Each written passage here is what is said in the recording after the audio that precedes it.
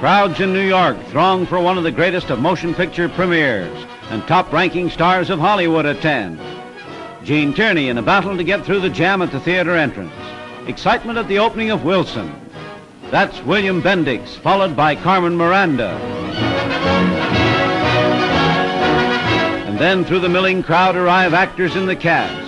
Thomas Mitchell, who plays the part of Presidential Secretary Tumulty in the spectacular drama of America's President in World War Number One.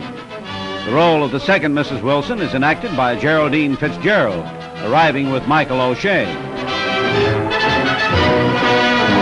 Film actor Dana Andrews, and pushing through the throng into the lobby, we join the galaxy of stars at this brilliant opening. Gene Tierney and her party, eager for a first glimpse of the much-awaited feature. Bendix, Carmen Miranda, and Thomas Mitchell. The great Technicolor feature has been a theme of nationwide talk and speculation, and notables flock to the premiere. Michael O'Shea, Geraldine Fitzgerald, and Dana Andrews. And now, time for the picture, time for one of the most talked of features of spectacular screen entertainment.